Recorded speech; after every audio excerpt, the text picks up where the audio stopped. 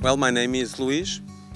I'm uh, one of the owners of this family business. We have two farms. I started this project, Quinta do Mel. I used to call it my third daughter. And Quinta do Mel, I have a real big passion for this place.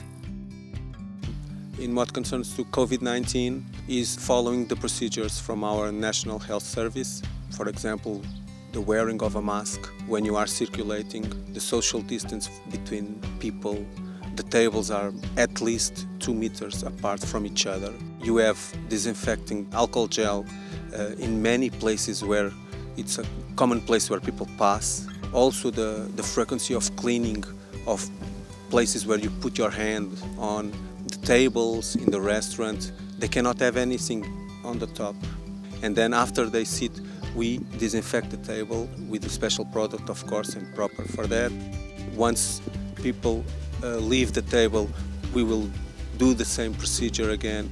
So we are basically doing everything to make our role in what concerns to prevent the spreading of this uh, coronavirus and at the same time of course making people comfortable and feeling safe by while stay here at Quinta do Mel. I look forward to receive uh, of course my new guests and just like we are doing now with the guests that are already here, uh, make the best so they can enjoy the most of their vacation.